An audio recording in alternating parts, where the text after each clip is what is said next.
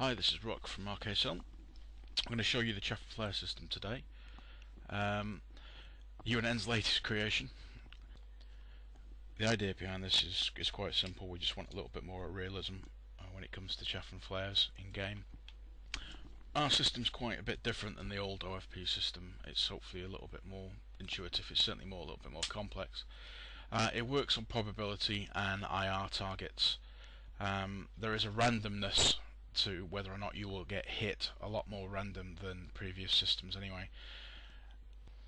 I suppose the greatest strength of this is that you can use it both in automatic mode, so it'll react to a missile being fired at it, but you can also use it preemptively where you can fire things manually and provide the AI, the OPFOR, um, targets, or other targets, or you know, flare chaff and flares that they can engage um, deflecting their attention from you.